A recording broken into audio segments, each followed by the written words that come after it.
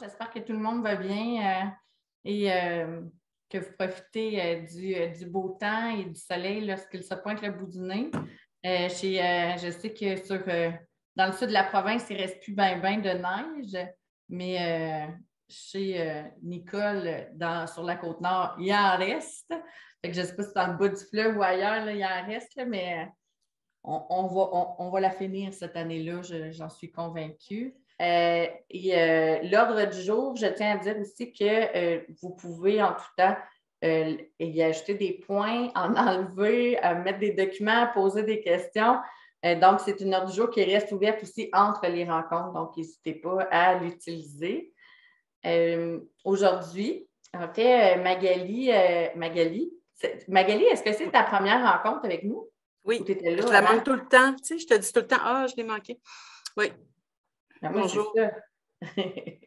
on a la chance, en fait, d'avoir euh, Magali qui est au euh, Centre de formation professionnelle à saint Des patriotes, oui. Des patriotes et euh, qui, qui va venir nous parler de l'approche RAI en FP. pourquoi? Puis avoir plusieurs yeux parce que Magali, tu as travaillé longtemps, en fait, au primaire, tu as fait un saut en direction euh, et tu es revenu comme ortho, mais à la formation professionnelle, donc vraiment un inventaire. Et de regarder, je sais qu'au CSS des Patriotes, la RAI, c'est euh, une valeur sûre, c'est mis à toutes les bouches, on sait très bien de quoi on parle quand on parle de la RAI. Et c'est une forme d'accompagnement qui est souvent véhiculée, souvent voulue, en fait, pour répondre aux besoins des, euh, ben, des élèves, en fait. Donc, si on peut juste avoir un langage commun, avoir un modèle en FP, je pense que ça serait intéressant. OK, bien, bonjour. Euh, en fait, euh, j'arrive du secteur jeune. Où ben, je suis à la commission scolaire depuis 30 ans, donc euh, j'ai fait du secteur jeune beaucoup. C'est ma première année en ortho en FP. Je connaissais la FP parce que, comme Karine l'a dit, j'ai fait un cours séjour d'un remplacement en direction. j'ai voulu essayer ça, donc j'ai fait de la direction FP pendant un an et demi. Donc, euh, là, je suis ici depuis le mois d'août. Donc, euh, en gros, euh, c'est sûr que j'étais formée à la RAI au secteur jeune. ce que j'aime beaucoup de cette approche-là, c'est que ça me permet aussi de savoir où je m'en vais. Ça, c'est la première chose, OK? Mais c'est sûr que je ne vous cacherai pas qu'une approche RAI, ça fonctionne avec une direction qui pense comme ça aussi. Donc, il faut qu'il y ait un grand leadership de la direction. Il faut que la direction vous appuie. Euh, parce que c'est un modèle, surtout en FP, euh, où les enseignants ne sont pas. Euh, ben, c'est un modèle qui, est relativement nouveau, là, puis qui n'est pas souvent. en tout cas, ils n'ont jamais entendu parler de ça, tellement que je disais RAI, a des profs qui appelaient ça RAI. Tu sais, on fait la RAI. là, je leur disais non. Le RAI, en fait, c'est une réponse à l'intervention. En fait, ce qui est bien avec la, réponse à l'intervention, c'est que ça définit aussi votre travail. Une fois que tu as fait des interventions, puis tu en as fait pendant trois, quatre, cinq semaines, deux fois par semaine, puis qui ne répond pas, en fait, c'est là, Nicole, que tu peux dire à ta direction, c'est un niveau 3, j'ai fait telle, telle, telle intervention, il ne répond pas à ça.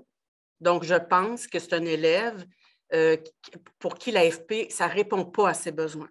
En fait, c'est ce que j'aime beaucoup de cette approche-là, c'est que ça, amène euh, des fois à des belles choses, des réussites, mais ça amène aussi à définir que, euh, à vérifier par un pistage régulier que cet élève-là, ben, il, peut, euh, mettre en, peut mettre en œuvre ses compétences, mais ailleurs.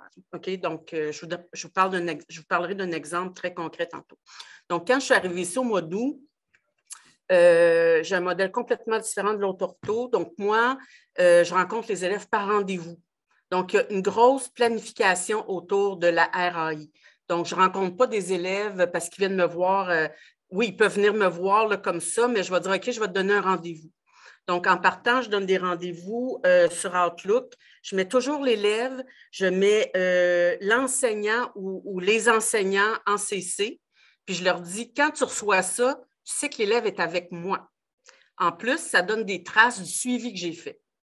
Fait que ça, c'est la première chose. Je reçois l'élève, je lui donne un rendez-vous, je mets le, prof, même la direction, Et euh, voilà. Fait que les profs aiment beaucoup ça parce qu'ils savent, puis je peux planifier que tel élève, je vais le voir à peu près cinq semaines, dépendamment de la problématique, à deux, deux fois par semaine. Ça peut être 30 minutes. Hein. En fait, dans la RAI, ce qui est très efficace, c'est euh, la fréquence de l'intervention. Donc, de, le voir deux fois, trois fois, des fois, ce n'est pas possible trois fois, deux fois une demi-heure, c'est plus efficace qu'une fois à chaque semaine. Ça dépend toujours de la problématique. Donc, vous pouvez avoir des élèves. Moi, je vois euh, les élèves euh, pour les stratégies de lecture, les stratégies d'études, tout ce qui est français, la stratégie de lecture et les maths. C'est à peu près ça que je fais. Parce que j'ai défini, en fait, que je ne pourrais pas me garrocher à droite et à gauche puis apprendre toutes les dettes. Ce n'est pas mon rôle. Fait en fait, c'est intervention au niveau des stratégies, au niveau des maths. J'ai quatre, programmes ici où il y a des maths. je me suis familiarisée avec les maths euh, avant. OK? Puis je voulais voir aussi si, euh, tu sais, moi j'arrive du, du primaire. Fait qu'on s'entend que la trigonométrie, c'était loin.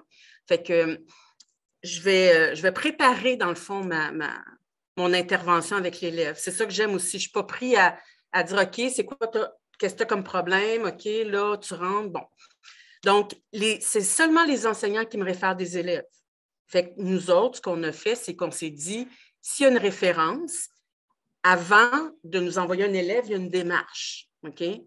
Puis c'est là, en fait, quand on se rencontre chaque mois en tutorat, qu'on parle euh, du portrait du groupe.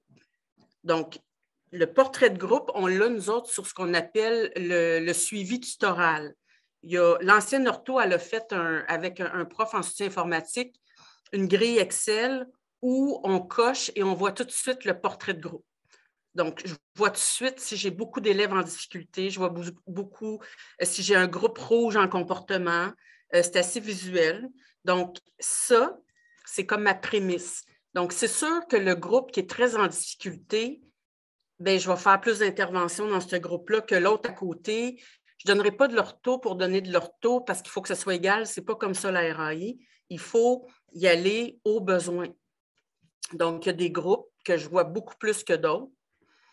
Il y a des, il y a des, euh, programmes où je ne vais jamais. Mécanique de machine fixe, là, ça va super bien. C'est tous des élèves. On a beaucoup d'élèves qui arrivent de l'Algérie, tout ça, qui ont déjà un bac euh, euh, en ingénierie. Ce pas des élèves qui ont des problèmes d'apprentissage ni de comportement. Fait que j'ai rarement allé en MMF. En soudage, j'y vais souvent. Puis en, il y a des départements en, APED, j'y vais souvent. En soutien informatique, j'ai beaucoup de TSA, mais ça ne veut pas dire que. En fait, moi, là, euh, mon rôle, c'est pédagogique. Donc, si, c'est un trouble de comportement ou si ça a un lien avec le comportement, c'est la TES. On a vraiment défini. Pour faire la RAI, il faut vraiment définir les rôles de chacun. Fait que moi, je m'occupe que des apprentissages et la TES des comportements. Donc, on est très complémentaires, puis euh, on ne fait pas deux fois la même intervention. Finalement, on est vraiment plus efficace. Donc là, à partir du moment où je sais que euh, en fait, j'ai toujours cette feuille-là. À chaque tutorat, je leur martèle ça tout le temps parce que nous, on se l'est fait marteler tellement au secteur jeune. Ça, c'est la RAI. Fait je leur dis, le modèle d'intervention, ça va être à trois niveaux. C'est la RAI. Puis là, je leur explique à chaque fois. Puis j'ai tout le temps ça. Puis ça, c'est rentré là, graduellement. Et les directions adjointes ont le même discours que moi. Ça, c'est super important. Parce que maintenant, on ne parle plus, euh, oui, on parle d'intervention universelle, mais maintenant, on dit c'est un niveau 1, un niveau 2, un niveau 3. On est capable, même les profs peuvent dire ça, Magali, c'est un niveau 2 ou 3. Là. Fait qu'on on, est capable de définir le niveau d'intervention qui sera approprié pour ces élèves-là selon ce que le prof observe et ce que moi j'observe. OK? Je ne vous cacherai pas que euh, à cause de ça, tous les niveaux 1, les élèves qui vont bien, mais que euh, par insécurité, le prof voudrait m'envoyer, je ne les vois plus. OK? Je vois vraiment du niveau 2. Puis quand c'est du niveau 1, je la rencontre, puis je vais voir le prof en disant Écoute, euh, c'est plus une élève de niveau 1, elle m'a dit ça, ça, ça, fait que je peux te donner des conseils. Mais je ne fais pas d'intervention avec des niveaux 1. puis ça, le niveau 1 classique, je vais vous le dire, c'est quoi? C'est, euh, j'ai un, programme ici où les profs, euh, dès qu'il y a une petite, dès qu'il y a une petite affaire, là, ils pensent que l'élève a un trouble de langage parce qu'elle n'a pas compris, mais ce n'était pas ça dans le fond. Donc, ils sont plus insécures, ces profs-là, fait qu'ils me les envoient. Mais à chaque fois que je leur dis, ben garde, tu peux essayer ça, ça, ou juste m'écrire sur Teams. Donc, ça fait que je, vois vraiment les élèves de niveau 2 et 3. Je ne vous cacherai pas que j'ai beaucoup plus de niveau 2. Des niveaux 3, j'en ai eu peut-être 4, 4, 5. J'ai vraiment du niveau 2 où il y a encore quelque chose à faire. Sauf que dans la RAI, ce qui guide notre intervention, c'est l'intervention précoce. Donc, j'ai des élèves de niveau 1, niveau 2, niveau 3. Moi, quand je suis en tutorat puis que j'apprends que l'élève n'est pas capable, disons, comme là en ce moment, dans le. Je suis en mathématiques. Donc, on faisait euh, la règle de 3 en pharmacie. J'entends déjà que l'étudiante a de la misère avec ses multiplications. Il faut que je la vois. Je ne la vois pas quand l'examen a le coulé. Fait que là, je dis au prof, parfait, je vais la voir probablement pendant six semaines, deux fois par semaine. Les profs acceptent. Ça peut être juste 30 minutes. Souvent, je les prends avant la récré ou après la récré parce que euh, c'est, il y a des programmes où je peux les prendre plus, mais en fait, je trouve tout le temps du temps. Les profs, ben, ils sont contents d'avoir ce soutien-là. Puis, euh, ils, vont dire, oui, oui, ils sont en, sont en, travail d'équipe, tu peux le prendre à la fin de la journée. Fait que je vais toujours écrire au prof avant, est-ce que je peux le voir? Fait que la RAI, c'est de prévoir beaucoup, de planifier d'avance. Donc, je suis tout le temps en train de planifier mes deux semaines. Comme cette semaine, je suis déjà en train de planifier. Euh, ma semaine prochaine est pas, mal planifiée. Je, suis déjà dans, la dans deux semaines ce qui fait que euh, ça, ben, en tout cas, c'est efficace parce que je pense que je peux voir plus d'élèves comme ça que si je les voyais dans mon cadre de porte avec pas d'infos. Fait que le fait d'être en tutorat, là, j'ai l'impression que je parle à droite et à gauche, je vais essayer de me, centrer. Euh. Donc, en tutorat, on parle des élèves. C'est là que j'apprends qu'il y a un élève qui a beaucoup, beaucoup de difficultés avec quelque chose. Donc, je dis parfait, je vais le rencontrer surtout quand la personne m'explique qu'est-ce qu'elle a fait bon avant. Ça, je pose toujours la question. Et la direction qui pense RAI fait aussi cette intervention-là. Qu'est-ce que tu as fait? Qu'est-ce que tu peux faire? Donc, ça, ça m'aide énormément. Parce que sinon, tu es la seule ortho à te battre avec ça. Puis, en fait, ça te prend absolument une direction euh, qui, parle le même langage que toi. Et là, on voit les profs dire OK, puis on voit vraiment quand la direction parle de RAI avec l'ortho et la TES, on voit vraiment les profs circuler et dire euh, OK, ben, je vais essayer ça. On voit vraiment le changement. Je me demandais, Magali, euh, bonjour. Donc, je suis Nadia. Je suis en FP aussi depuis euh, presque sept ans. Puis, je travaille vraiment aussi, un peu comme toi, là, avec le, RAI, avec l'équipe. On est comme trois, nous autres aussi, là, direction adjointe, intervenante psychosociale et moi en tant qu'ortho. je t'entends puis, tu sais, notre modèle ressemble beaucoup à ce que tu présentes ce matin. Puis, je t'entends beaucoup dire, tu sais, les élèves sont de niveau 1, de niveau 2, de niveau 3.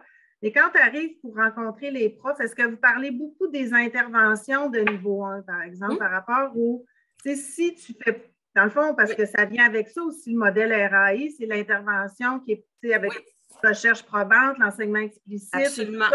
Les enseignants sont habitués d'entendre ce langage-là aussi. Fait que, c'est sûr que tu ne fais pas d'enseignement explicite, ben, tu sais, il euh, faut que tout le monde embarque dans le modèle. Sinon, on ne peut pas être euh, à euh, deux, Tu comprends ce que je veux dire? Hein? Absolument. OK. Il faut que tout le monde fasse son, ait son rôle puis fasse sa job là, avec ce qu'on a comme. Il faut répéter souvent. Parce que, en fait, pour régler ce problème-là, l'ancienne ortho, qui était elle aussi, elle voulait mettre l'approche RAI, mais c'était plus difficile. Ben, elle avait commencé tout ça. Quand on est en tutorat, on a notre, notre outil de suivi tutoral. Il y a des onglets avec toutes les interventions universelles. Fait qu'on regarde le tableau, puis après ça, on va dire qu'est-ce que tu pourrais faire? Puis là, on ouvre l'onglet en tutorat. Parce que ce que je me suis rendu compte, puis tu vas dire comme moi, probablement, Nadia, c'est qu'on le dit, mais après ça, les profs oublient. Fait qu'on profite de la période de tutorat, on a inséré les interventions universelles, Puis quand on parle de l'élève, on pèse sur l'onglet puis on dit, regarde ce que tu pourrais faire. Oui, moi, je trouve ça génial. C'est un beau truc que tu me donnes.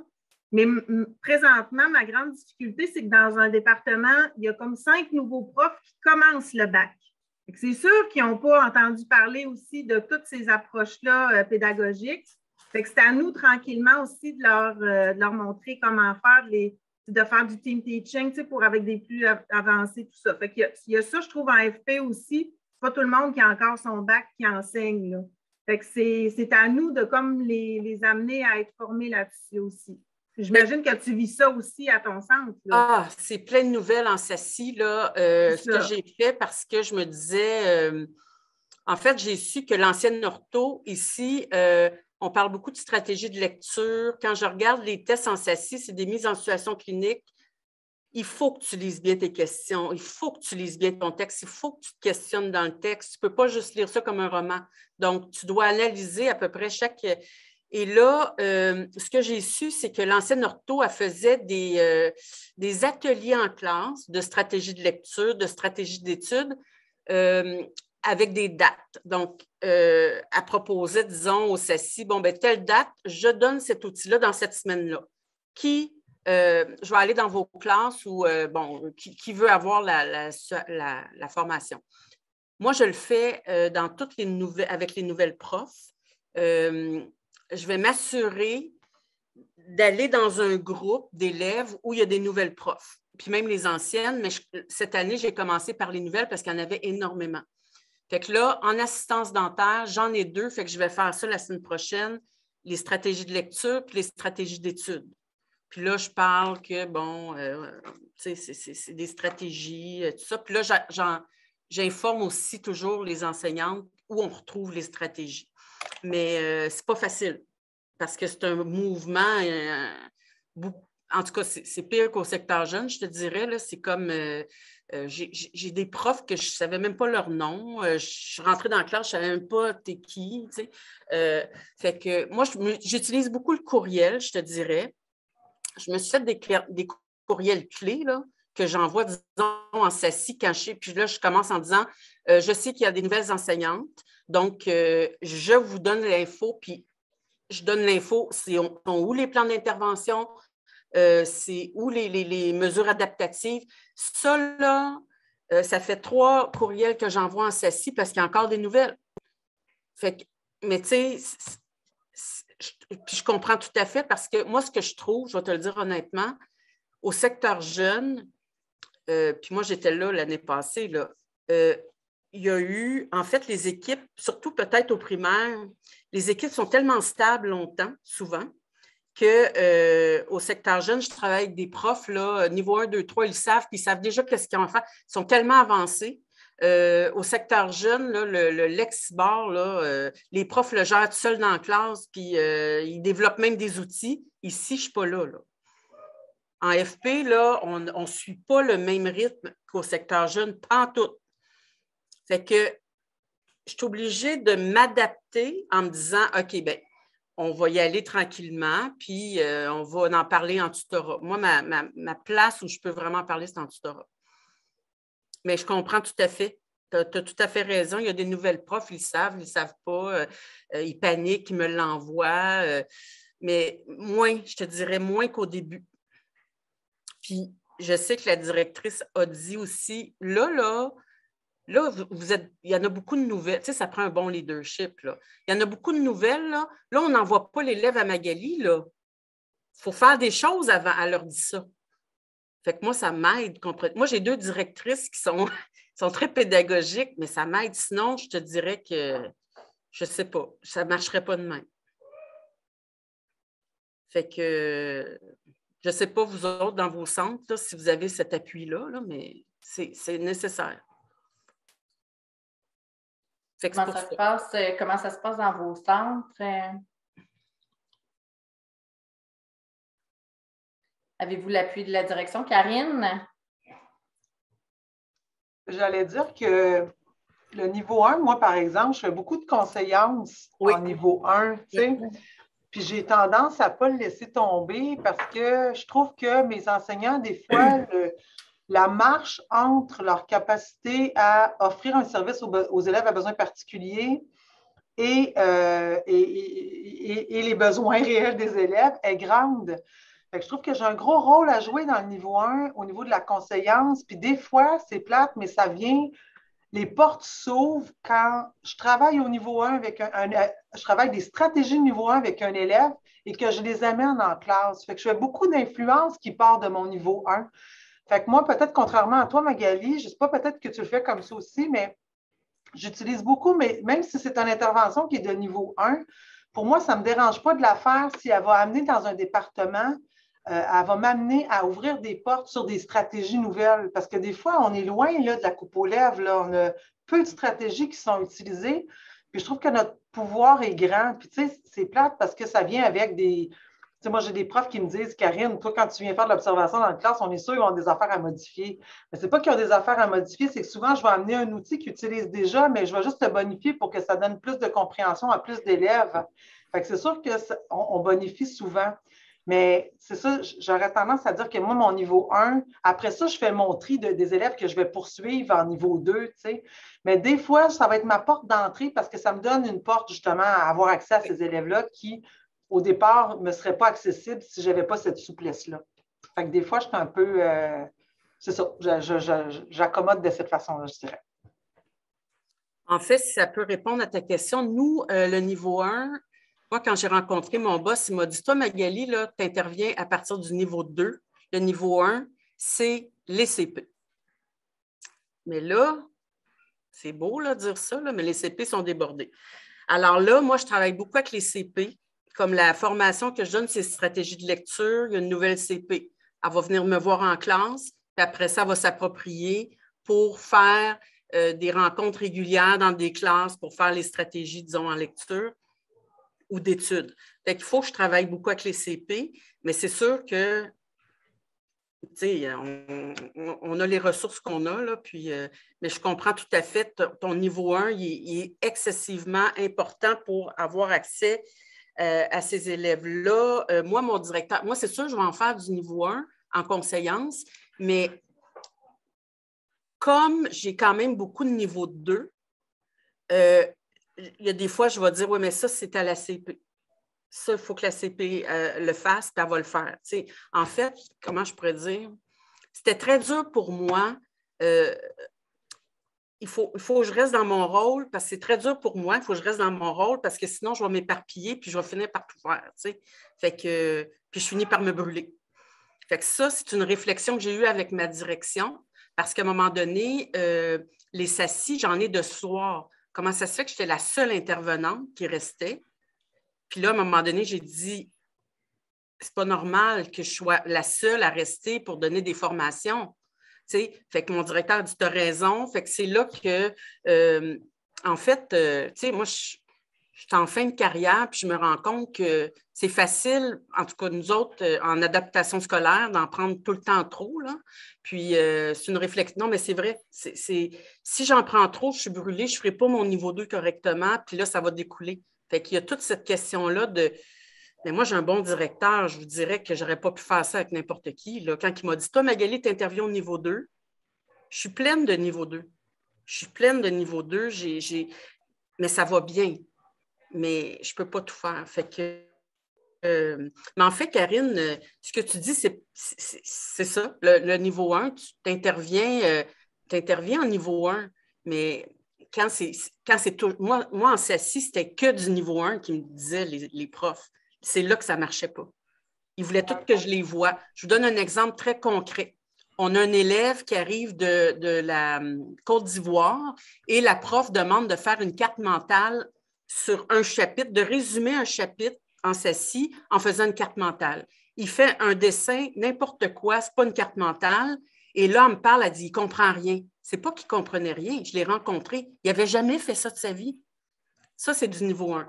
Elle aurait dû poser la question. Et là, ce qu'on a fait, c'est qu'on a dit, parfait, à partir de maintenant, vous allez faire une carte mentale sur un thème comme la famille, juste pour vérifier. En fait, il faut que tu l'enseignes, la carte mentale, parce qu'il y en a qui ne le savent pas.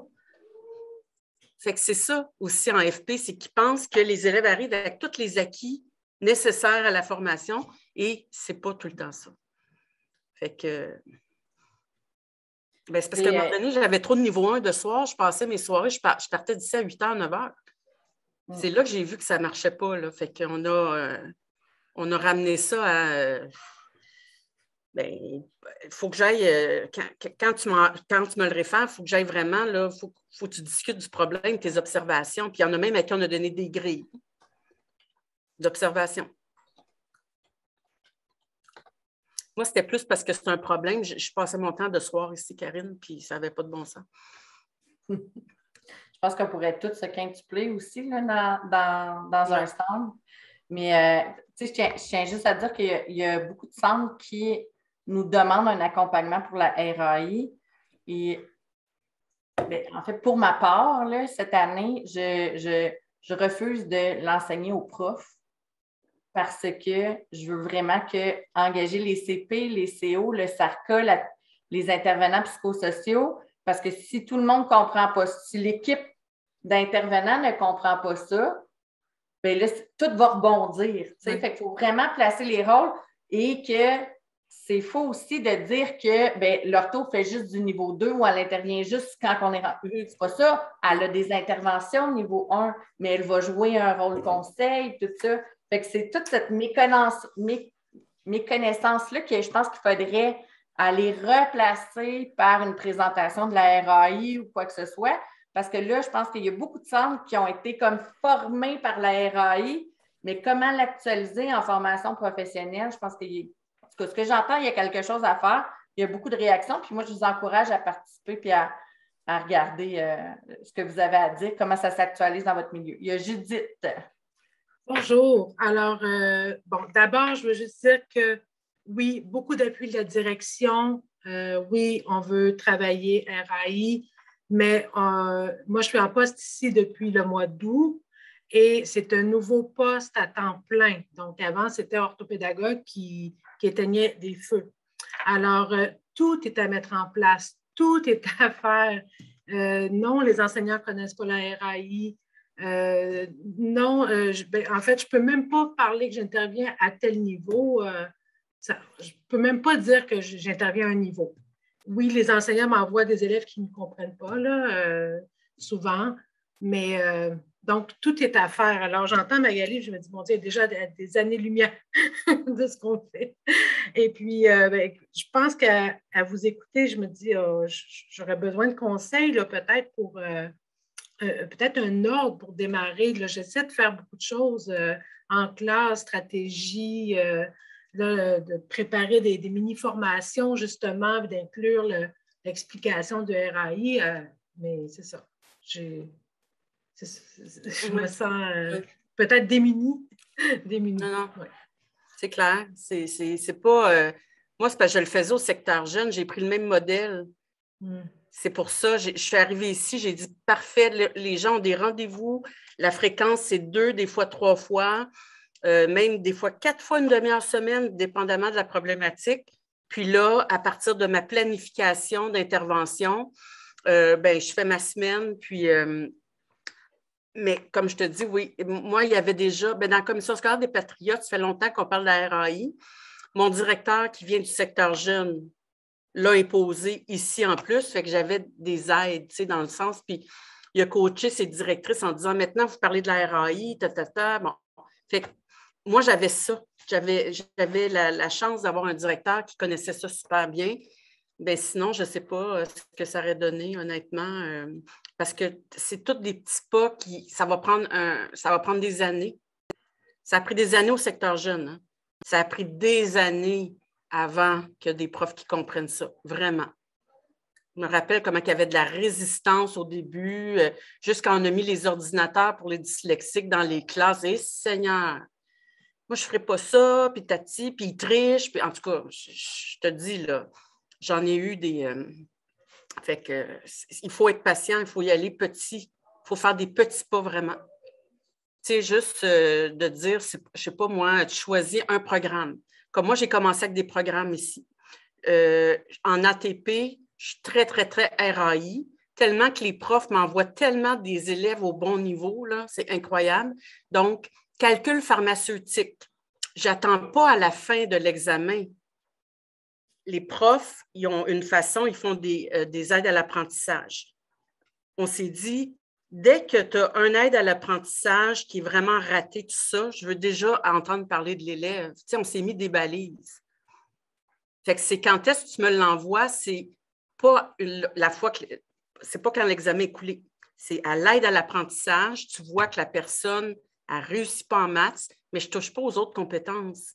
Je ne fais pas euh, préparation stérile, euh, non. Je fais juste, moi je leur ai dit, je fais des maths, du français, parce que quand je suis arrivée ici au début, j'avais l'impression qu'il fallait que j'apprenne toutes les compétences, mais je leur ai dit, c'est pas ça mon rôle, parce que l'ancienne ortho qui me remplace, elle, ça faisait comme dix ans qu'elle était ici. Fait qu'elle connaissait super bien toutes les compétences. Fait que les profs avaient des attentes que, que je sois capable d'enseigner les symboles en soudage. Mais en fait, euh, non. Euh, euh, tu comprends-tu que je suis allée avec des programmes? Après ça, j'ai vu soudage. Soudage, actuellement, ils font des groupes de besoins de niveau 2, les profs.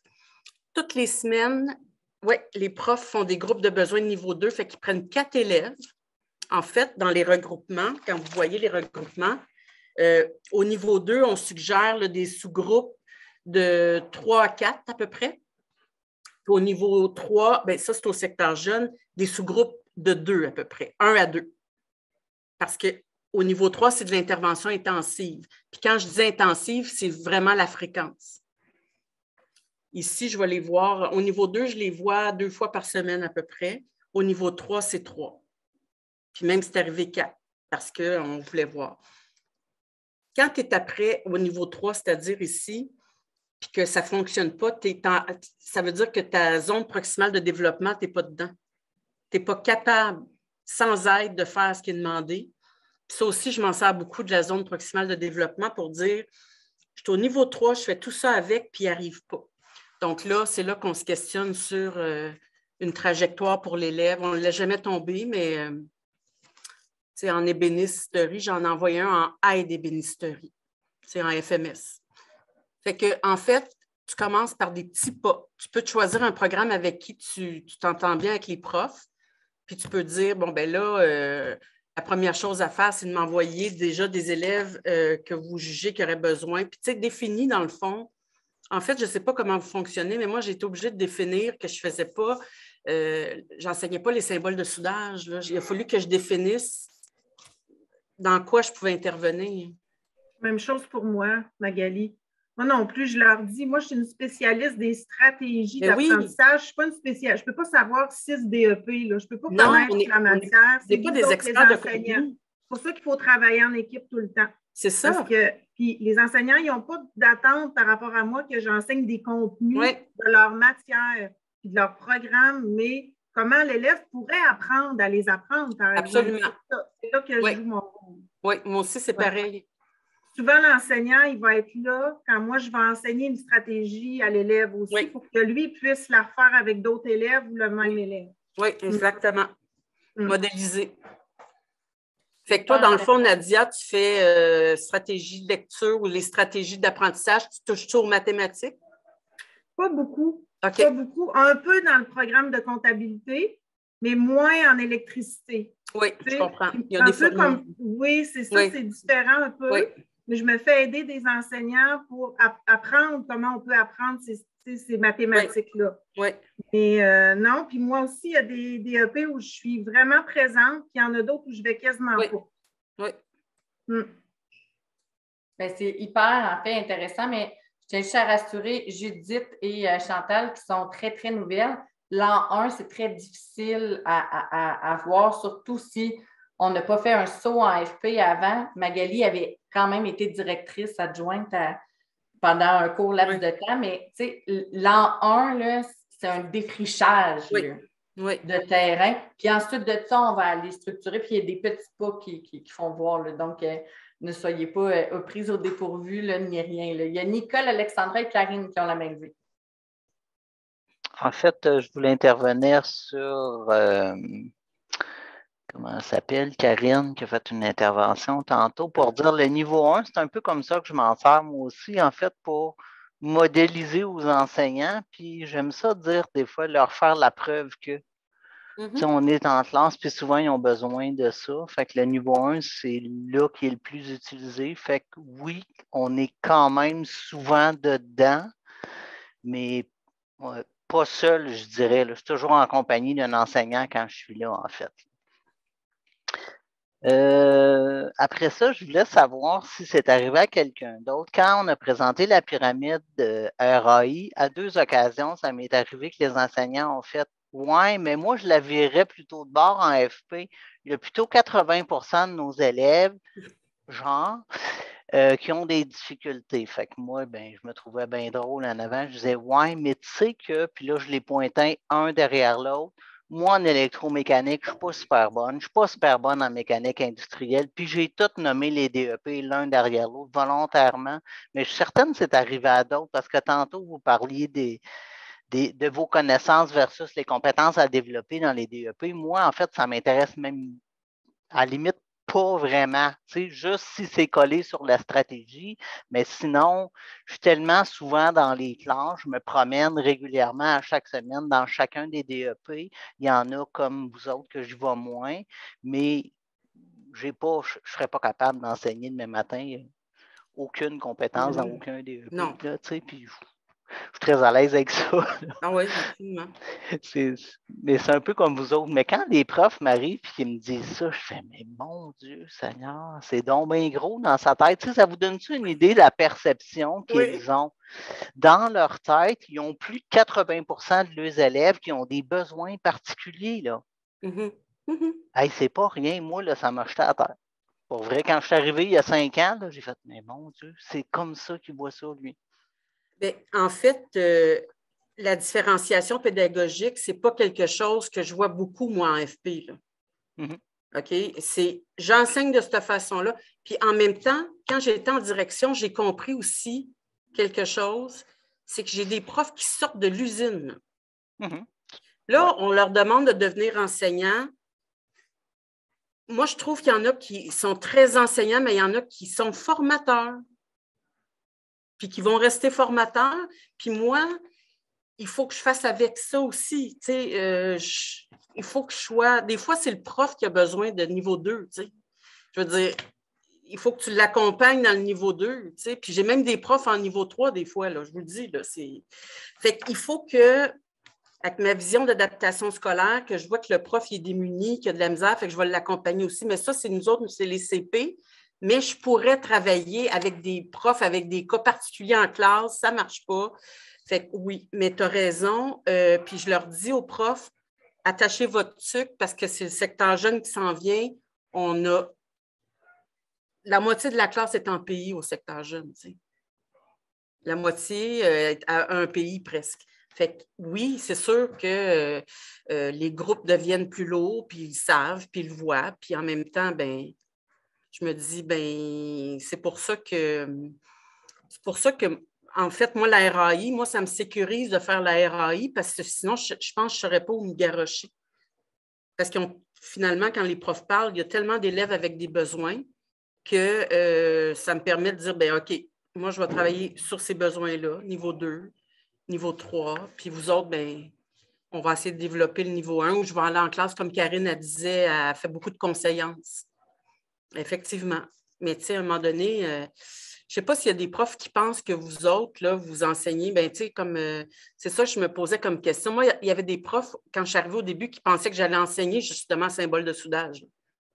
Ils pensaient que c'était ça ma job. Je ne sais pas si vous autres, c'est comme ça. Moi, personnellement, j'utilise le contenu de la formation euh, pour, comme prétexte pour voir mes stratégies. Oui, moi, je passe par la matière qui m'amène. Fait que moi, toutes les fois qu'ils viennent en rencontre avec moi, je ne sais jamais dans quoi je vais travailler. Je suis comme dans un. Je saute dans le vide, puis je me dis, à travers ce qu'on va faire, c'est sûr que je vais aller travailler des stratégies, puis je vais. Je, tricote à travers ça. Fait que je ne sais jamais dans quoi je travaille avec mes élèves, mais je travaille dans la matière, par contre. Oui.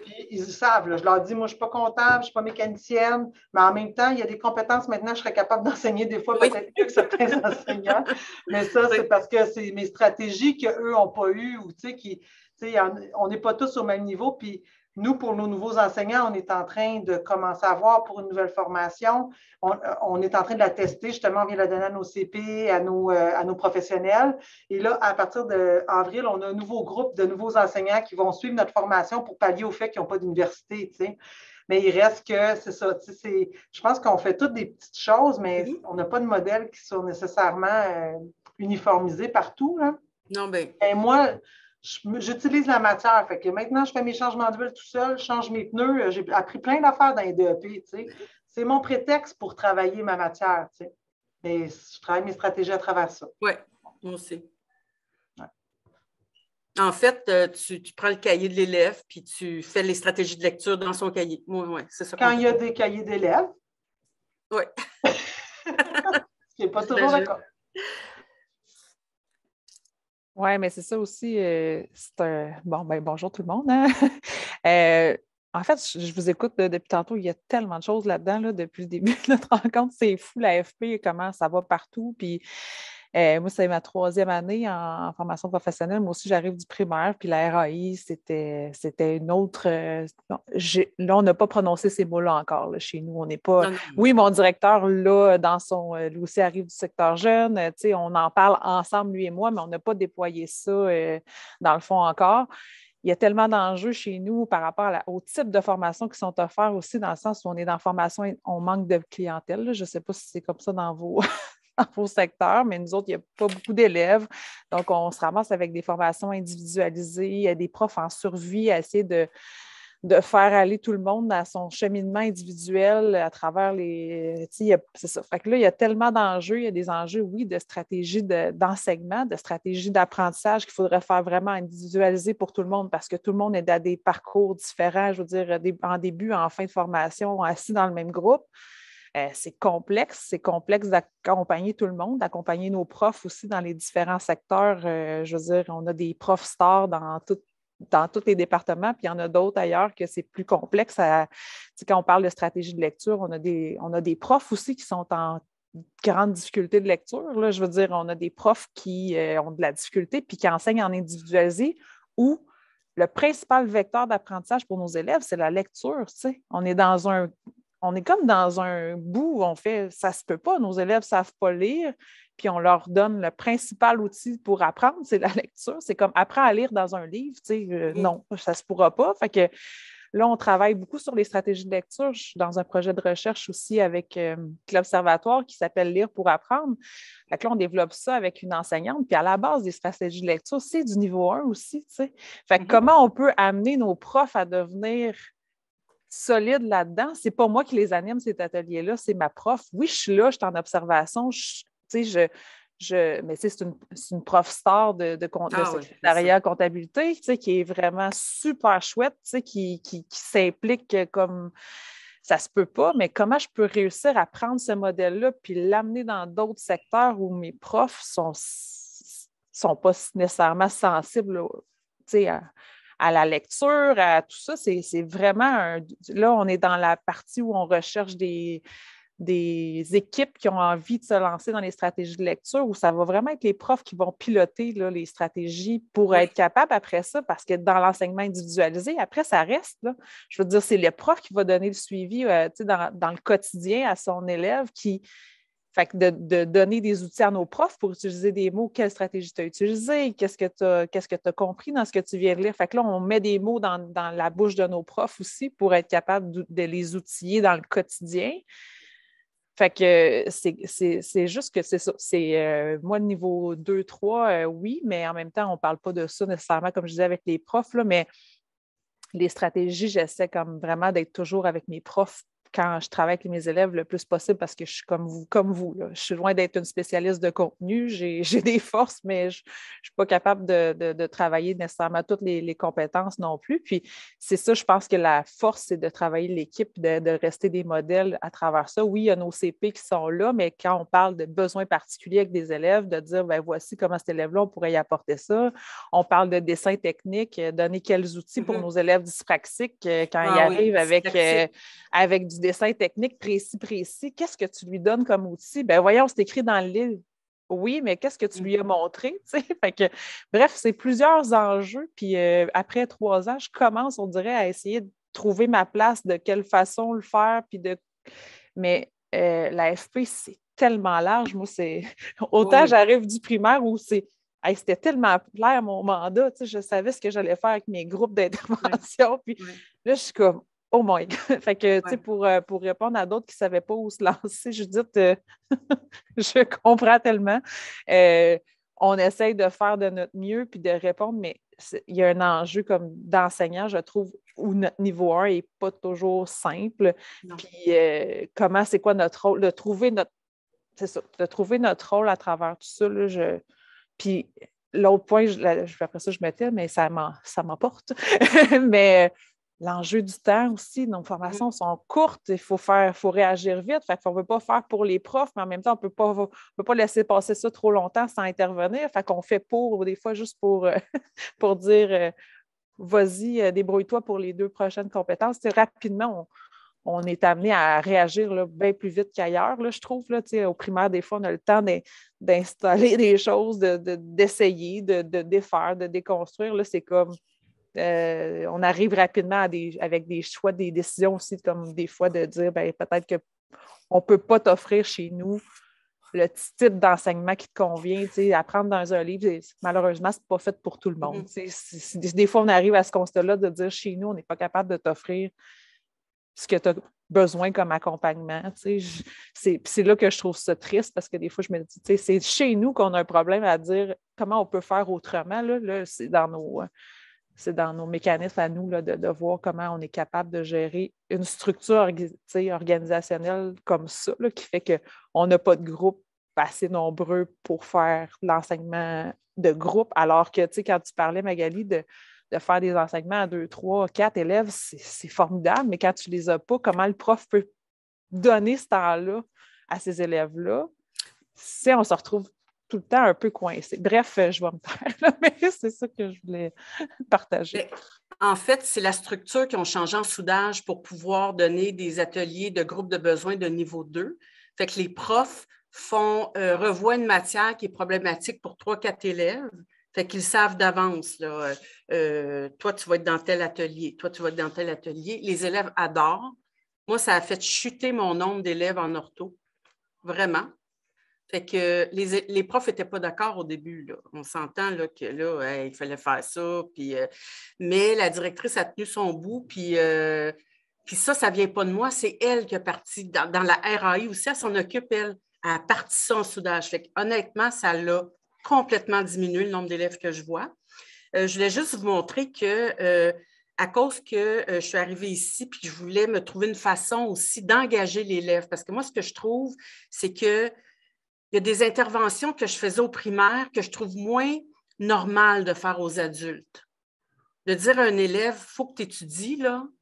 Faut, faut que tu étudies. Je comprends là, que. Comprenez-vous ce que je veux dire? C'est que je vais le dire à un élève de troisième année, là, il faut que tu étudies, puis je vais t'aider. Mais un élève qui ne veut pas, il y a ça aussi en FP. Il ne veut pas, il, est ici, mais j'en ai une là, comme ça dans un programme, elle ne veut pas étudier, tout ça, mais elle ne réussit pas. en fait, j'ai fait ici un signet que j'ai plastifié. Toutes les stratégies que je lui ai montrées, sont en jaune. les adaptations auxquelles elle a le droit, parce qu'il y a des profs qui oublient, sont en vert. Fait que là, je leur ai dit, là, tu as ton signet. Le prof aussi a le signet que j'ai fait pour l'élève. Puis là, je veux qu'elle mette en application ça. Puis en fait, ce que je veux dire, c'est que je trouve qu'elle a un rôle, l'élève, à jouer. Là. Parce que le prof fait ça, l'ortho fait ça, tout le monde fait ça, mais elle, elle ne se mobilise pas. Puis j'ai un, cas vraiment typique d'une fille ici là, qui, qui se laisse porter par la vague. Bien, moi, à un moment donné, après avoir fait ça, moi, j'ai tout montré ça. Là, Puis j'ai dit là, il faut que tu mettes en mots-clés. Quand tu apprends des étapes, tu mets le mot-clé. J'ai tout fait ça, la carte mentale. Je dis là, c'est à toi de, de, transférer ça. Là? Fait que je dis, tu prends ton signet, là, le prof a sait que tu l'as. Fait qu'on va te questionner là-dessus. Fait que ça, c'est des stratégies de niveau 1, en fait. Fait que je veux que l'élève s'approprie aussi sa formation. Je veux qu'elle s'engage. Ce n'est pas juste le prof, puis l'ortho, puis tout le monde, parce que j'ai vraiment vu des élèves qui avaient le potentiel, mais que l'attitude face à la tâche n'était pas là. Fait qu'à un moment donné, euh, petite discussion courageuse, là, euh, c'est quoi tu veux, c'est quoi ton plan de, carrière, c'est quoi ton projet, là, parce que si tu veux y arriver. Puis ça, je vous dirais que ça a fait une différence aussi. Parce que quand je dis à l'élève, OK, puis là, il va me dire, Hey, j'ai fait ce que tu m'as dit là, sur mon signet. Puis ça, je ne le fais pas à toutes les. Je l'ai fait dans des groupes, beaucoup de garçons en vente, là. Ça ne lisait pas, ça n'utilisait pas l'exibor, rien. Euh, en soudage, euh, ça ne faisait pas une stratégie de lecture. J'ai dit, si tu veux réussir, regarde, je te le mets sur papier, tu as ton signet. Fait que ça évite que je répète tout le temps même affaire, puis ça montre au prof aussi ce que j'ai montré à l'élève. Puis le prof, il reçoit tous les signets de son groupe sur une feuille. Puis j'ai dit, tu peux lui rappeler, ça en est des stratégies de niveau 1. Rappelle-lui qu'il doit mettre ça sous mot-clé. Rappelle-lui qu'il doit faire ça. Fait que ça, j'ai développé ça dans un besoin où je voyais les. J'avais trop d'élèves en niveau 2, dans le fond, qui avaient le potentiel, mais qui ne se mobilisaient pas assez. C'est ça que j'ai découvert. Contrairement au secteur jeune où euh, le petit n'est pas encore diagnostiqué dyslexique, puis il l'est vraiment. Puis même s'il veut le faire, il n'y arrive pas parce qu'il y a un problème. C'est ça. Fait que je voulais vous le dire que ça, là, je, l'ai fait euh, par une idée de même en me disant il faut absolument que l'élève. Euh, puis là, quand je dis à la direction, il a son signet, il sait qu'est-ce qu'il doit faire. S'il ne le fait pas, il fait un choix aussi. Je ne sais pas ce que vous en pensez, mais je trouvais que j'avais beaucoup d'élèves qui, se laissent porter un peu. Là. Je devrais peut-être pas dire ça, là, mais c'est le constat. Non, mais euh, en même temps, il faut travailler la responsabilisation de l'adulte. Ben oui. Euh, c'est dit, en fait partout. Puis, tu sais, en même temps, quand on fait ça, on fait ça à deux niveaux. Fait que tu rappelles au prof que tu l'as donné à l'élève, tu modélises en fait au prof, puis tu. Oui. C'est la même chose avec l'utilisation de l'ex-bar, d'antidote ou quoi que ce soit. Quand tu, quand tu modélises au prof et que tu modélises à l'élève, ben, tu ben, pousses les, deux. Puis à un moment donné, ça, ça va en fait, Ce que je modélise, je l'écris. Ben, exactement. Je n'ai pas à redire. Je vais dire, sors ton signet, tu fais ça, ça, ça, puis le prof peut faire la même chose. Fait que ça, ça a été bien. Les profs ont beaucoup aimé les signets. Julie Kim, en fait, je vais faire ça bref. C'est vraiment en réponse. Euh, voyons, je cherche les noms à Judith puis Chantal qui débute. Puis juste pour dire que moi, je suis à ma quatrième année en, orthopédagogie, en formation professionnelle. Puis cette année, après quatre ans, je me suis rendu compte, euh, j'ai fait un constat qui m'a repris du temps, mais euh, je veux des fois aller trop vite, plus vite que, que la machine, on va dire ça comme ça. La première année, moi, ça a vraiment été une année d'observation. Ben, en fait, j'ai fait mon rôle d'orthopédagogue, mais j'ai pris la place euh, de l'ancienne orthopédagogue qui avait été là quelques mois. Puis, euh, j'ai vraiment pas réinventé le monde, mais j'ai observé, puis j'ai essayé de voir vraiment euh, c'était quoi les, choses à améliorer, puis où je pouvais agir plus en prévention qu'en réaction. Mhm. Puis à ce moment-là, la RAI, c'était même pas une discussion. Puis cette année, ce que je me suis rendu compte, c'est qu'il y a plein de choses qu'on a mis en place à grande échelle. Puis euh, le résultat, ben, euh, pour certains programmes, ça fonctionne et ça poursuit. Pour d'autres, ça a complètement euh, tombé à l'eau. Puis mon constat, c'est que faut, le changement doit d'abord se faire par euh, la vision de l'organisation, puis ça part par le leadership de notre direction, comme tu l'as bien dit, Magali. Si on a bien beau avoir des idées de grandeur, je pense qu'il faut se ramener qu'on ne peut pas aller plus vite que la machine. Puis il faut, tranquillement essayer de changer des mentalités. Puis moi, ce que je me rends compte qui fonctionne, c'est d'y aller à petite échelle en ciblant des gens volontaires qui ont envie d'embarquer avec nous. Nous, ça nous fatigue pas mal moins, premièrement, parce qu'on travaille de façon volontaire. Puis avec les gens volontaires, ben, on a des résultats gagnants en général. Puis quand euh, on a des gens volontaires qui embarquent dans des projets, ça fait des projets pilotes. Euh, nous autres, dans notre tête d'ortho, on se dit ça n'a pas de bon sens, il faudrait que tout le monde puisse bénéficier de ça. Mais finalement, quand on se questionne, c'est pas tout le monde qui en veut de ça. Fait que c'est pas tellement bien si c'est pas euh, cru, ben euh, les gens embarquent à moitié. Mm. Fait qu'en y allant avec des petites cibles, ben moi, ce que je me rends compte, c'est que quand ça embarque bien, après ça, ça porte fruit, puis ça se parle dans d'autres programmes. Puis là, j'ai d'autres programmes qui viennent me voir, ouais, comment ça se fait qu'eux autres, ils ont encore leur rencontre, ben parce qu'ils nous l'ont demandé, parce que, ah ben là, j'aimais ça aussi, moi j'en voudrais. Fait que, c'est là que les gens ont décidé d'embarquer. Puis on dirait qu'à partir du moment où ils décident, ça marche. Fait que c'est une façon pour moi de me préserver là, euh, au niveau de la fatigue professionnelle parce que j'avais j'avais la bonne volonté de mettre tout en place tout de suite, mais réalistement, c'est pas toujours euh, ça. Voilà. merci, euh, merci énormément. En fait, à tout le monde, il est déjà une heure. S'il y en a qui doivent quitter, bien, on comprendra, puis on remercie. Je pense qu'on serait curieuse d'aller en fait le plus loin. Si Magali, euh, tu peux préparer pour la prochaine rencontre les, documents, ne serait-ce que le portrait de classe euh, avec les stratégies universelles, le dossier Excel. Je pense que ça serait euh, un coup de main à, vraiment beaucoup de monde pour s'interroger. Puis, je tiens à dire que si vous, votre direction, vous avez besoin d'un accompagnement ou de réfléchir en équipe centre, ben, de communiquer avec moi ou Karine Martin. Puis, on se fait un plaisir de euh, que, que, soit moi, Karine Martin, ou encore d'aller chercher des ressources comme Magali pour la dégager, pour aller vous pour aller réfléchir puis mettre en place des structures. C'est à ça que ça sert l'équipe choc et euh, l'accompagnement national. Donc, euh, n'hésitez pas. Karine Morin, je te laisse. J'ai une petite question. Tu sais, je t'en avais parlé, je t'avais écrit, puis ben oui je suis un peu mal, ben pas mal prise, mais un peu, euh, je me questionne en fait euh, sur euh, les mesures que je peux mettre en place en secrétariat. Je ne sais pas s'il y a des orthos à travers vous qui, avez du secrétariat dans vos DEP. Pouvez-vous juste lever la main que je vois là s'il y en a qui en. OK, OK. Hmm. Je vous explique mon problème. Un élève dyslexique, dysorthographique, révision, qualité du français. dans ma, ça fait six ans que je suis ici cette année, c'est la première fois que je mettais en place des mesures avec Techno pour réussir l'examen. Je n'avais jamais eu besoin de le faire auparavant la technique que j'ai, elle fonctionne quand même bien, là, même pour mes élèves qui sont dyslexiques. Mais là, cette année, j'avais des résistances, puis ça ne marchait pas. Je veux savoir, vous autres, là, comment ça se passe? Est-ce qu'ils ont droit aux aides techno? Est-ce que est-ce qu'ils ont droit à tout le monde ou c'est juste les élèves qui ont des troubles d'apprentissage? Comment vous modulez ça? Parce que moi, je le documente, puis je montre la résistance. Je suis capable de prouver pourquoi j'arrive à ce moyen-là parce qu'on a essayé beaucoup de choses avant mais j'ai de la résistance de la part de mes enseignantes. Fait que j'aimerais ça, si vous avez des trucs où vous me dites, oui, nous, on le met systématiquement à telle place, ou euh, en tout cas, j'aimerais ça voir clair.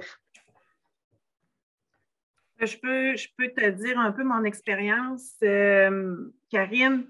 Moi, c'est sûr qu'en secrétariat pour révision des textes, la 2, la compétence 2, euh, à chaque année, sauf cette année, je ne l'ai pas fait, là, mais on me dit que je ne peux pas mettre en place des mesures d'aide technologique pour l'examen de révision des textes. Donc, euh, la sanction... ne devrait pas. Dans le programme, ce n'est pas écrit ne peut pas, c'est écrit ne devrait pas utiliser d'aide techno. Mais à la ben, en tout cas, à la sanction des études, là, monsieur, euh, comment il s'appelle, Caroline? Karine, aide-moi, Karine Jacques. Bolduc.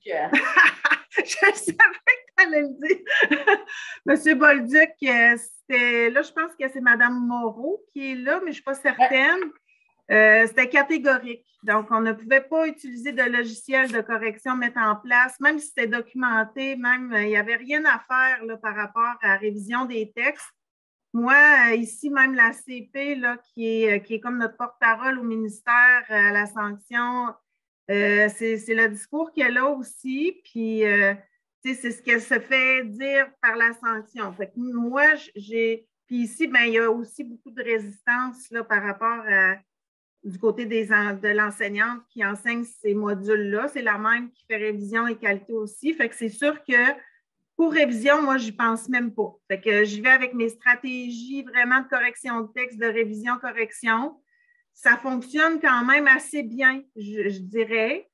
Mais euh, puis qualité du français, là, nous, on le traite un peu de la même façon, malheureusement, que révision. Euh, pas d'outils techno non plus pour qualité du français, même si on a l'ouverture dans le programme et aussi dans le, guide de, l'évaluation. On a l'ouverture pour en utiliser, mais ici, ça se fait encore tout papier-crayon avec euh, outils papier. Il n'y a rien qui se fait techno. Oui. Pour les enseignants, il y a une formation qui explique, puis ça l'a fait des miracles. Bon, pas des miracles. Ça l'a vraiment éveillé des, choses. qui existe de l'équipe choc pédagogique. De un, c'est la CUA, de comprendre en fait comment on, enlève des couches puis on parvient à avoir moins d'élèves en difficulté. Fait que ça, c'est une formation qui a été reconnue en FP puis qui roule puis qui a vraiment amené à changer des pratiques. Deux, il y a une formation aussi qui s'appelle Pourquoi les mesures adaptatives en formation professionnelle? Et on vient vraiment expliquer qu'est-ce que ça fait un lecteur immersif, qu'est-ce que ça fait un traitement de texte. Et ce sont tous des processus spécifiques.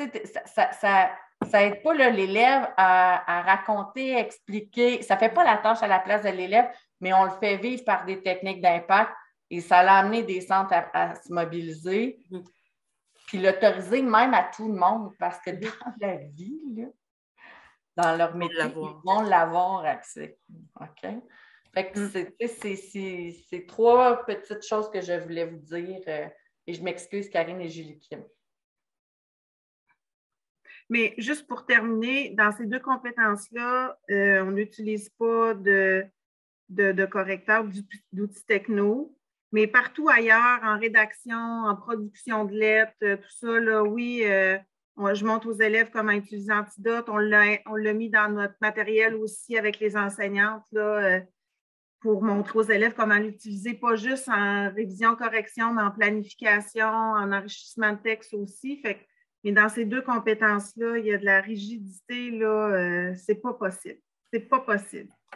Est-ce que ce serait agréable de s'échanger nos grilles de correct, des grilles? Parce que moi, pour vrai, je, me questionne sur certaines des choses. Mettons, révision de texte, la grille, je comprends les manquements en orthographe, là, mais c'est zéro manquement. Puis si tu as un manquement, tu es déjà à 80 fait je ne sais pas comment on peut s'y prendre pour se questionner sur cette compétence-là. Je sais que la CP se questionne déjà beaucoup ici. Nous, on se pose beaucoup de questions. Sur, on ne forme pas des élites en français. On, veut, on veut former des gens qui sont responsables du français et qui savent quels outils utiliser pour justement être une belle image corporative. C'est ça qu'on souhaite développer dans cette compétence-là. Mais en tout cas, je trouve que. moi, à la base, là, je me questionne beaucoup sur les contenus enseigner. Aussi, bien, tout, tout ça va venir avec. Ça. Mais moi, c'est ça, oui. OK. Mais merci pour ton, ta, clarification, Nadia. Oui, je vais laisser les autres. Et encore là, je, vais juste dire que ça, c'est tellement important de travailler ce genre de questionnement-là avec vos CP parce que les échanges de grilles, mm-hmm. c'est CP. Puis les mm-hmm. CP en FP, ils ne se parlent pas. Ben, nous, ici, sont en changement de rôle. Ici, nos CP servaient à des tâches administratives avant. Ils ne parlaient jamais de pédagogie ou presque. il y avait un petit volet qui était les évaluations, mais c'était la seule chose pédagogique qui parlait avec les enseignants. Fait que, quand vous me parlez du niveau 1, là, je vous dis que je suis loin de la coupe aux lèvres là, parce qu'on n'a on pas une structure, nous, dans notre commission scolaire, qui permet ça. On est en train de le changer, par contre, parce que six ans, ça a évolué beaucoup, beaucoup, beaucoup, beaucoup. Mais il reste quand même que c'est ça. on part de loin des fois. Là. Y a-t-il d'autres sons de cloche sur, les, sur le secrétariat ou vous avez. Ben, c'est drôle que tu me demandes ça parce que j'ai eu, eu à analyser les besoins d'une élève, OK? Euh, en fait, euh, j'ai autorisé Antidote pour une élève, puis pas pour l'autre.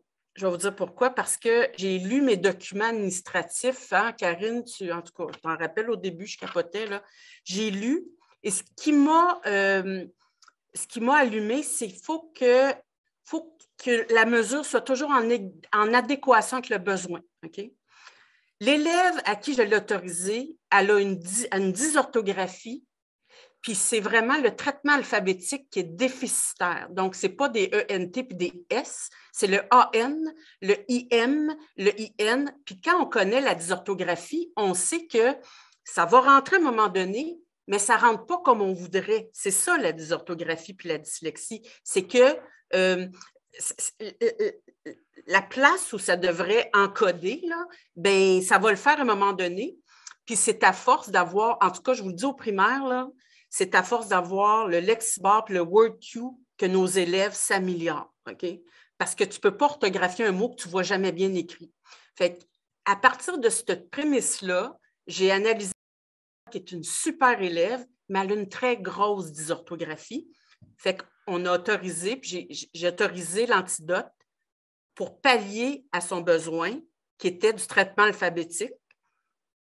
C'est ce que j'ai fait. Puis elle réussi très bien. L'autre à côté, je leur demande tout le temps, des orthographies, si tu des S, des ENT?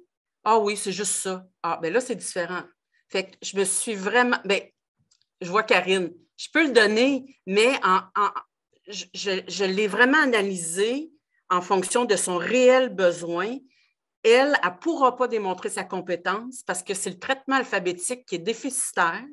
Donc, euh, la façon qu'elle place ses lettres, c'est déficitaire, c'est le son, en fait. C'est comme phonologique un peu. Fait qu'elle, elle a besoin d'antidote et elle réussit très bien, puis elle va être une excellente secrétaire. L'autre à côté, c'est des ES, ENT. Elle fait sa méthode à la main qu'elle a appris avec les profs, qui est une super méthode. Mais tu sais, elle passe très bien. Fait que je n'ai pas jugé, en fait, euh, l'importance d'y donner. Si elle se met à couler, oui, mais c'est vraiment ça que j'ai dû faire euh, parce qu'ils sont venus me le demander. Euh, c'est la première fois, ils mettent dessus. en tout cas, c'est ça que j'ai fait. J'ai analysé le besoin vraiment de l'élève, puis j'ai vu que dans c'était quelle, quelle voie qui était plus déficitaire, puis ça m'a. En, fait, antidote, là, si, si tu as de la misère avec l'IM, oui, c'est ça. C'est le traitement alphabétique qu'il faut compenser parce qu'elle ne pourra jamais le faire elle-même. Elle va le faire un jour. Mais c'est comme, c'est là que je trouvais qu'elle ne partait pas au même pied que les autres. C'est qu'à cause de son handicap, elle est pénalisée. Pourtant, elle est super brillante, elle va être super bonne, elle est super débrouillarde. Pourquoi qu'on ne lui donne pas? Fait que c'est pour ça que j'y ai donné. Je vous dis, là, je ne savais pas si j'avais le droit ou pas, mais je suis allée avec la logique des documents qui disent compenser un handicap en fonction du besoin réel puis l'analyse de la situation de l'élève. Fait que c'est ça qui me guide, je vous dirais. C'est ce que j'ai fait avec les deux fois où, dans le fond, je l'ai mis. Oui. Puis en plus, je vous dis ça, mais les élèves sont en reprise de compétences. Là.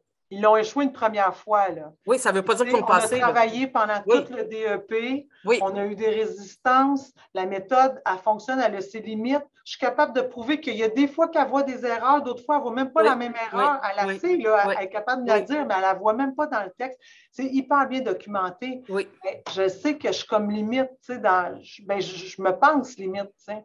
Ben, moi, j'ai fait comme toi. Là. Je, suis allée avec le jugement du handicap versus la mesure, parce que sinon, je ne peux pas compenser son handicap puis être aussi bien d'aller faire, euh, d'aller, d'aller travailler chez Métro. Tu sais, je veux dire, mais elle est super brillante. elle, y a droit. Tu sais, elle a droit. Pourquoi empêcher quelqu'un d'aller travailler et de devenir secrétaire à cause qu'on on est rigide dans nos.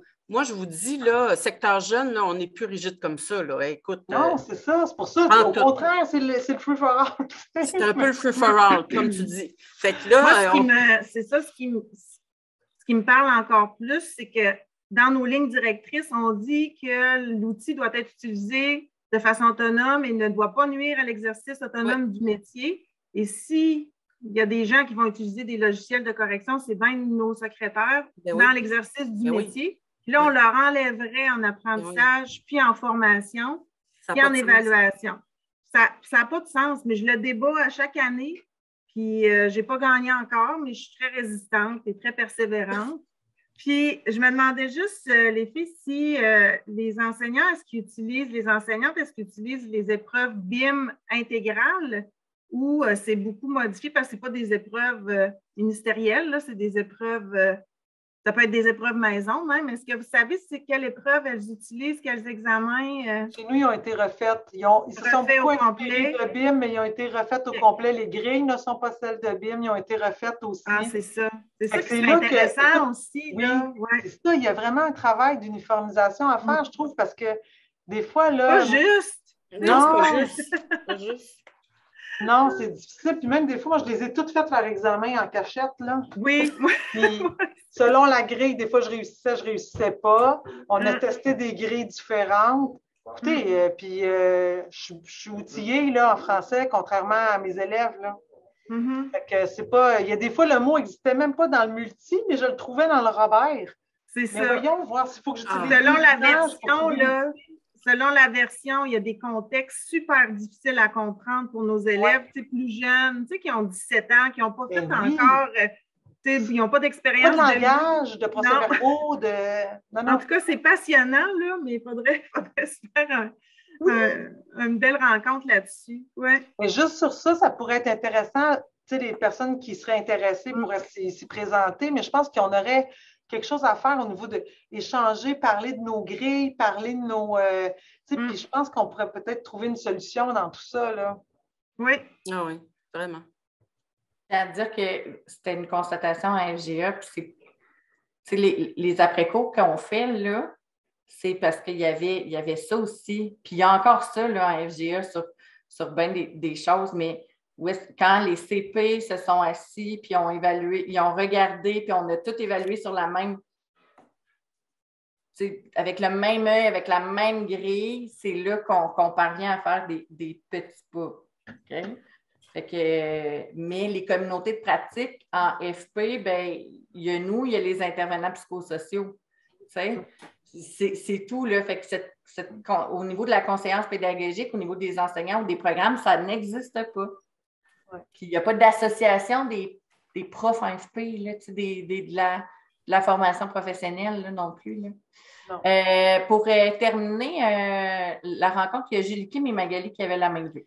Je vais devoir quitter, mais euh, je voulais juste vous dire que moi, j'ai vraiment besoin d'échanges avec d'autres. Euh, je parle de la RAI, mais je vais vous dire que les examens, tout ça, là, euh, c'est ça. Hein? Moi, je n'ai pas cette expertise-là, finalement. Là. Fait que, en tout cas, je voulais vous remercier. C'était vraiment, c'est vraiment intéressant, les échanges. J'avais vraiment besoin de ça. Puis, si jamais il y en a qui, qui veulent échanger, ben, je suis sur le Facebook finalement. je suis sur le Facebook. Puis merci beaucoup, Karine, d'avoir. Euh... Les autres qui font la job. C'est vraiment parfait. Bien, un, immense merci. Puis en tout temps, n'hésitez pas à aller sur le Facebook ou à. C'est pour ça qu'on a besoin du tableau des présences dans l'ordre du jour, d'avoir votre adresse courriel parce qu'on peut s'échanger des questions entre les rencontres. Donc, n'hésitez pas. Julie Kim, tu avais la main levée? Oui, bien, en fait, je chez nous, ça a été la même réponse que pour toi, Nadia. Là. Ça a été vraiment un nom catégorique de M. Bolduc. Puis, euh, je me demande à quel point on peut transgresser ça. Euh, puis, est-ce qu'on, est-ce qu'il y a une, euh, voyons, une réponse qui euh, t'a été donné, toi, Nadia, du pourquoi on ne peut pas, parce que moi, j'ai eu la, une réponse courriel euh, de, la, responsable de la sanction chez nous qui a parlé à M. Bolduc, là, parce qu'on a comme un intermédiaire. Là. Mais euh, j'ai juste eu un nom, finalement, mais puis je me disais que ça devait être parce que ça nuisait à l'exercice du métier, mais en même temps, vous l'avez bien dit, on a accès à tout, hmm, les secrétaires ont de plus en plus accès à tout. Et dans toutes les autres compétences, nous autres, chez nous, Antidote est, autorisé pour les examens, pour les apprentissages, toujours. Je trouve qu'il y a un peu une incohérence, mm-hmm. mais euh, c'est ça. Est-ce que tu as eu une réponse plus J'ai pas eu une, plus grande réponse euh, que toi. Puis à chaque année, euh, je pose la, je me réessaie à chaque année, puis j'ai la même réponse. Sans trop d'explications, il faudrait que je retrouve là, les différents courriels que j'ai, puis on, on pourra s'en reparler, mais c'est non. Puis sans, moi, ça ne m'a pas convaincu. Il n'y a pas d'argument qui me convainc que, que c'est ça pour cette compétence-là, entre autres. J'avais espoir pour qualité, mais euh, je me suis butée aussi là, à, à une réponse qui me disait, ça aussi, c'était euh, un, lien là, avec le ministère. Je ne me souviens plus du nom, mais c'était un homme là, cette fois-là. Puis euh, qui me disait ben, qu'on ne peut pas non plus s'ingérer dans les euh, pratiques pédagogiques et dans les choix pédagogiques des, enseignants. qu'on ne peut pas imposer quelque chose aux enseignants si eux, ils décident de ne pas, de, pas l'utiliser. Mmh, Parce mmh. qu'on a plus une ouverture, je trouve, en qualité. Mais il faut vraiment que ça parte de ce que j'ai compris de, des enseignants, mais il y a moyen de les influencer. C'est là aussi le rôle des CP, des directions, de nous, puis c'est en se parlant, en se faisant comme des communautés, puis des discussions qu'on va y arriver. Mais euh, c'est beaucoup, moi, là, moi, c'est facile de me faire dire dans ce temps-là, ben c'est ça, du nivelage par le bas. Puis moi, ça, là, me faire dire ça, là, ça me, ça me, mm. fait, ça me fait vraiment beaucoup de peine de, de, voir qu'on l'a, c'est comme ça qu'on sauve de ces discussions-là, -là, c'est qu'on le voit juste on ne le voit pas en. En tout cas, vous comprenez sûrement ce que je veux Porter dire. des lunettes, c'est pas du nivelage par le bas, je trouve. En même temps, c'est un peu la même chose. Moi, j'ai l'appui de ma direction. Quand moi, je là, je, l'argument que euh, c'est ça, il faut que ce soit utilisé sur le marché du travail, pourquoi ça marche partout, sauf pour ça? Hum. C'est ça? C'est ridicule. C'est pas cohérent. ridicule.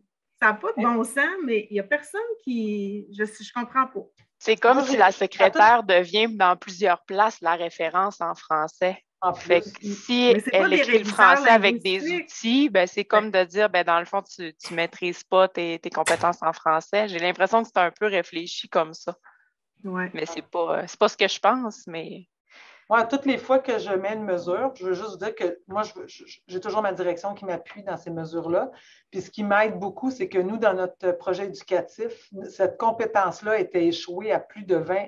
euh, Il y, a- seulement 20 quelques pourcents qui réussissaient la compétence, puis ça fait partie de nos cibles à atteindre d'augmenter. Fait qu'on a une grande ouverture de voir comment. Fait c'est pour ça qu'on joue d'un grille. On, a, on a des belles portes pour justement avoir ces discussions-là avec les enseignants parce que ça fait partie de nos, euh, compétences ciblées. On en a dans les autres DEP aussi, mais c'est ça, ça en est une. Fait qu'on se questionne beaucoup, on se parle beaucoup, on a beaucoup d'ouverture de la part de la direction. Fait que quand je mets des mesures comme celle-là, j'ai jamais de barrière. Au contraire, puis c'est eux qui appuient les mesures. Fait que je me dis, ben, si vous me donnez le go, moi, je m'enligne avec ça, puis c'est rare qu'on me dit non. Puis comme je vous dis, depuis le début, de- depuis mes six ans, c'est la deuxième fois hier que je la mettais en place, cette mesure-là. Puis je ne l'avais jamais mise auparavant parce que mes méthodes fonctionnaient. Tu sais, je n'avais pas eu cette résistance-là. Mais là, j'ai deux élèves dyslexiques, vraiment beaucoup, Mhm. avec une difficulté, pas de mémoire photographique des mots, pas de. Écoute, c'est, c'est quelque chose, là, ouais. Ben, moi, j'avoue mon là, que- élève, juste pour vous dire, là, mon élève, aujourd'hui, elle est venue me dire qu'elle a échoué en plus son examen avec antidote et le. Imaginez, Oui. Fait qu'imaginez le ça ne veut dire qu'elle va réussir. Mais moi, là, nous aussi, c'était une des compétences qui était ciblée en, en échec, mais euh, on, a, on a revu les grilles d'évaluation. Ça, il y a eu beaucoup d'ouverture de la part de, de l'enseignante. On a revu les grilles avec la, le CP aussi. Puis depuis qu'on a revu les grilles aussi, c'est pour ça que ça serait intéressant de se montrer c'est Mhm. quoi nos grilles par rapport à nos évaluations. Puis depuis qu'on a fait ça, c'est exceptionnel qu'un élève ne va pas réussir le cours au moins après la deuxième fois, là, après la reprise de cours. Ça arrive, là. Il y en a, il y en a quelques-uns qui, qui échouent à la première, mais il- des fois, la, la reprise euh, d'examen, qui vont faire la reprise de module, mais de moins en moins, mais c'est rare qu'ils vont échouer la reprise de module maintenant. C'est une élève par, par entrée, à peu, puis maximum. C'est rare, rare maintenant là, que on va être obligé, des fois, on, on est obligé de mettre fin à une formation à cause de ça. là. Je ne sais pas si vous autres, Ouais. ça vous est arrivé, Oui. là, mais c'est ça. Oui. C'est triste, là. Ben, c'est, ouais. Ben, nous, la reprise, elle a lieu souvent à la fin du DEP. Fait que, parce que Ah. moi aussi, il y a ça. Il y a Ben, ça, où ça, arrive le cours dans la formation. Parce qu'eux commencent avec ça, mais les élèves, c'est leur première compétence qu'ils travaillent. Écoute, on perd des élèves parce qu'ils ont peur. Ah. Puis en même temps, moi, je me dis, si on était capable de la- l'étirer, cette compétence-là, plus longtemps dans le DEP, puis de faire rédaction, de faire autre chose en attendant, on, Mhm. on favoriserait le vocabulaire, l'acquisition du vocabulaire lié là, au secrétariat. Mhm. En tout cas, il y a plusieurs questions. C'est pour ça que je dis que ce serait un beau dossier à, mettre sur la hein. table. Ouais. Oui. Rien n'empêche que vous l'organisiez parce qu'effectivement, il y aurait quelque chose à faire.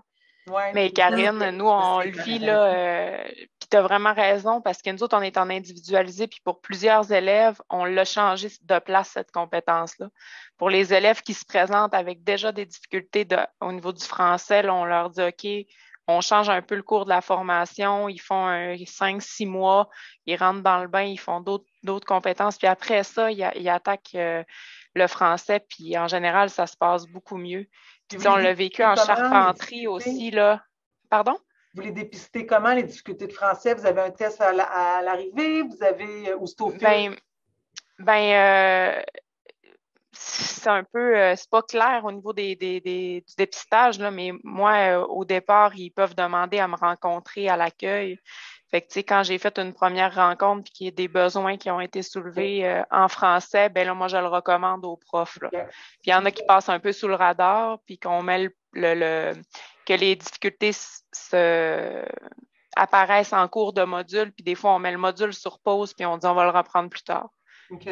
Fait que ça, ça arrive aussi. Puis on a vécu la même affaire en charpenterie au niveau des maths. Notre module de calcul et planification arrivait le deuxième module du programme.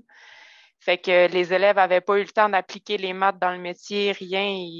je pense qu'on avait 25% de taux de réussite de l'examen. C'était épouvantable. Puis là, ben, on le met vraiment là, dans plus tard. Fait que là, ils ont appliqué, puis ils l'ont vu, ils l'ont morcelé dans, dans plusieurs euh, modules, puis il y a beaucoup mieux de réussite. Ah, c'est fun. Mais moi, là, euh, Julie Kim, j'aimerais ça voir un exemple de profil d'élève que tu fais retarder si tu en as un euh, rapidos, là, pas peut-être pas après-midi, là, mais si juste de voir quel cours vous avez mis avant d'amorcer révision. Parce que moi, après ça, tu sais, c'est qualité, c'est rédaction, c'est production, c'est tous les autres cours aussi, là, tu sais, qui, sont comme interreliés, là. je sais qu'ils mettent euh, PowerPoint, gestion documentaire, Peut-être Excel aussi? Excel. OK. Ouais. OK. Mais euh, production, je s'entend, c'est de la mise en page, tu sais.